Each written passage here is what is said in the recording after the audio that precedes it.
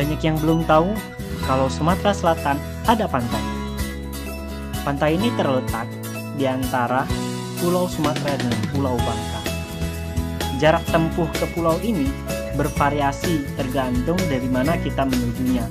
Dari Pulau Sumatera atau dari Pulau Bangka.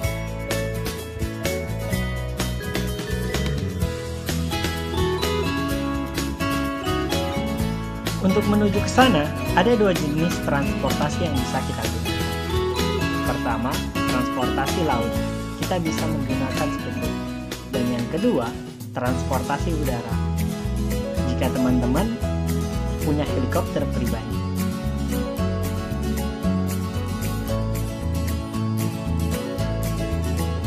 Kalau yang saya tumpangi sekarang namanya motor laut. Sebuah kendaraan yang digunakan oleh masyarakat lokal. Ada yang ingin tahu kenapa namanya Pulau Mas Pari? Kita akan tahu jawabannya ketika sampai di sana. Di pulau ini kita bisa menemukan banyak hal. Mulai dari hewan, penyu, tumbuhan rumput laut, tanaman buah mangga, dan jamburan karena belum ada penghuni tetap di dalam pulau ini, semuanya masih terasa alam.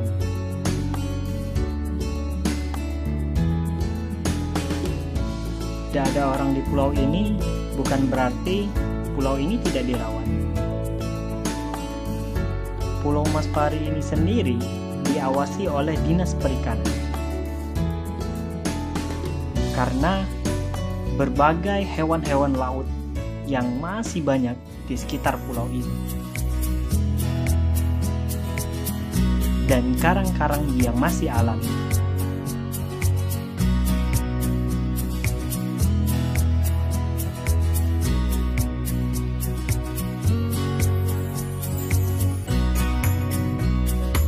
Beberapa nelayan dari Pulau Bangka biasanya singgah di pulau ini untuk berteduh.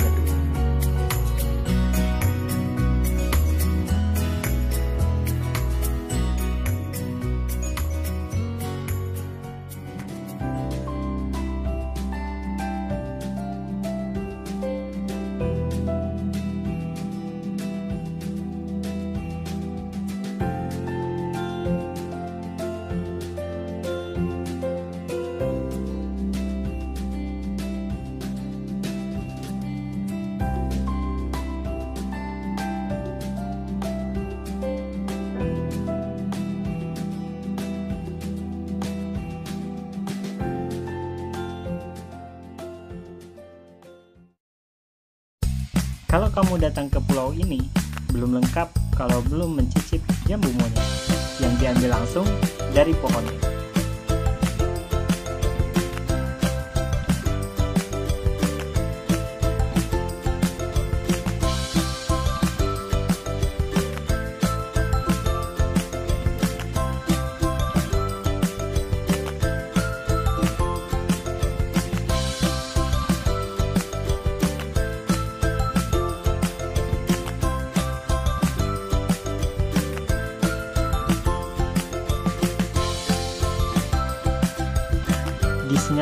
Sinar matahari ketika berada di pulau seperti ini, semua terasa impas dengan hamparan pasir putih dan birunya air laut yang dihiasi dengan bebatuan besar.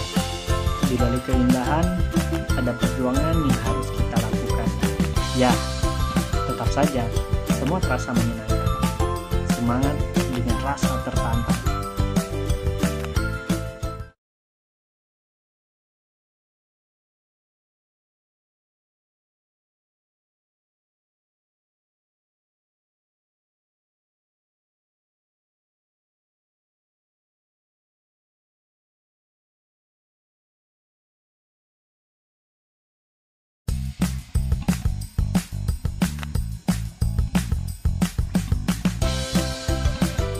selain mengisi perut, kita langsung menuju pantai utama yang ada di pulau ini.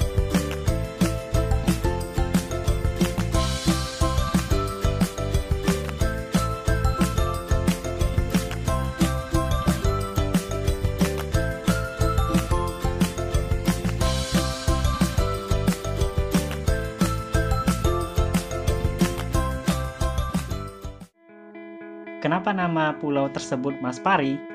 Jadi, nama Pulau Maspari itu sendiri, percaya atau enggak, diambil dari nama seekor ikan. Ada yang tahu? Ya, ikan pari.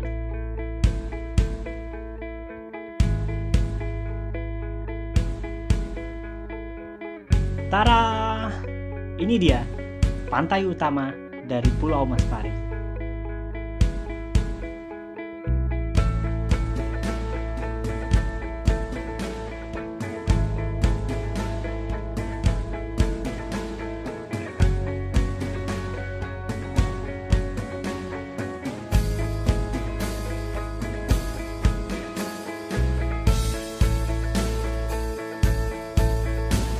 Pantai ini menyerupai ekor dari ikan pari.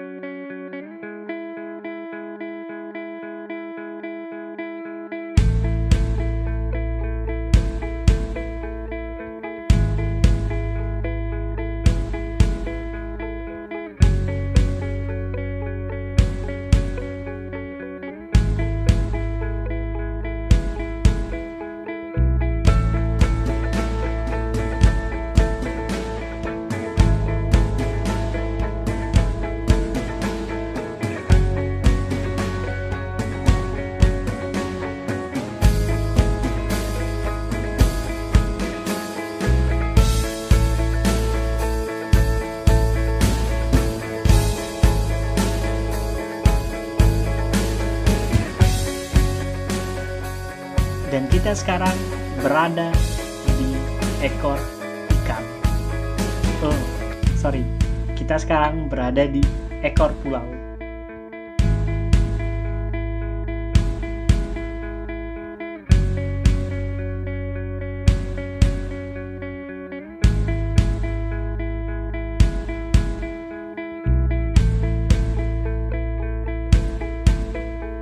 Sensasi luar biasa ketika berada di ekor pulau ini adalah jalan yang kita lalui itu dihempas dari ombak kiri dan kanan.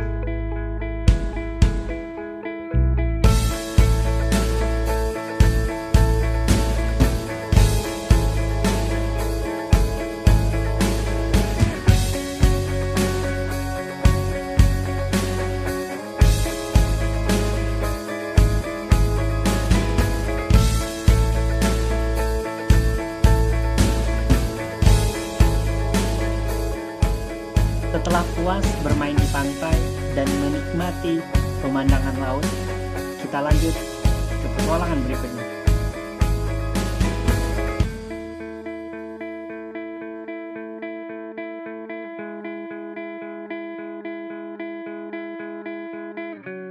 Setelah dari dataran rendah, saatnya kita ke dataran tinggi.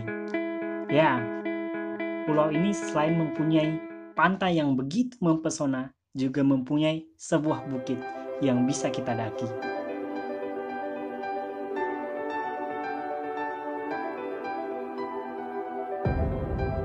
Ya, saatnya mendaki bukit.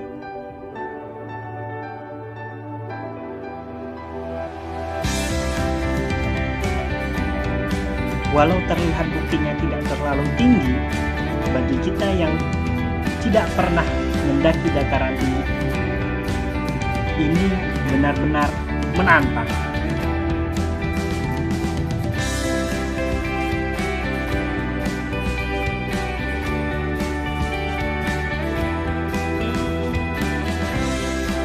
Sampailah kita di Bukit Pulau Maspari. Akhirnya, semua lelah ketika mendaki bukit terbayarkan ketika sudah melihat pemandangan pulau ini dari sini.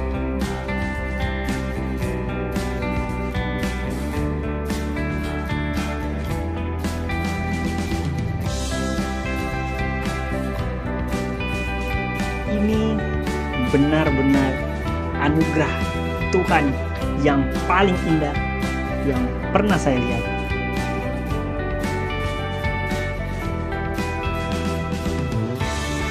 Dengan rasa penasaran dan ditemani dengan teman yang sudah ahli di pulau ini, akhirnya kami pun menaikinya.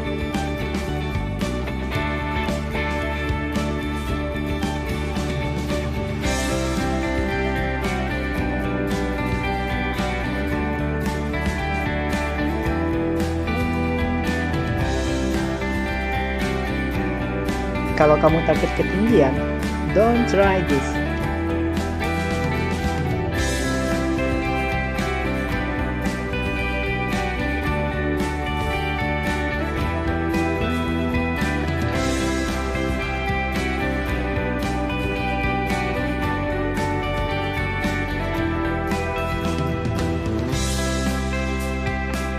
Finally,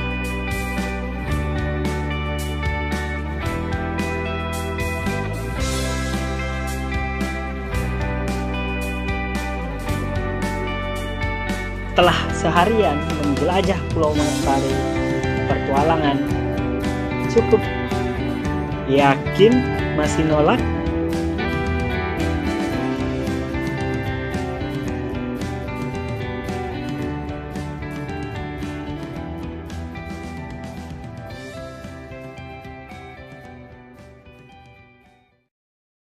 Ada begitu banyak pulau-pulau kecil yang tersebar di Indonesia dan mungkin banyak pulau yang lebih indah dari Pulau Maspari.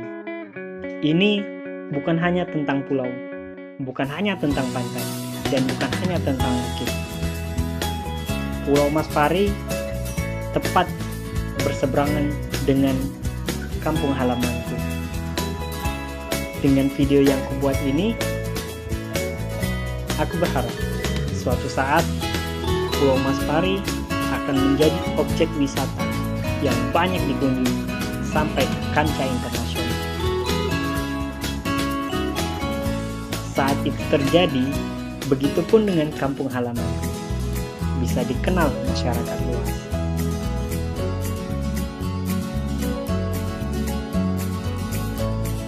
Explore Sumatera Selatan, Explore Ogan Komering Ilir, daerah Tulung Selatan, pantai timur, terkhusus Pulau Maspari yang berseberangan dengan Dusun Sungai Kok.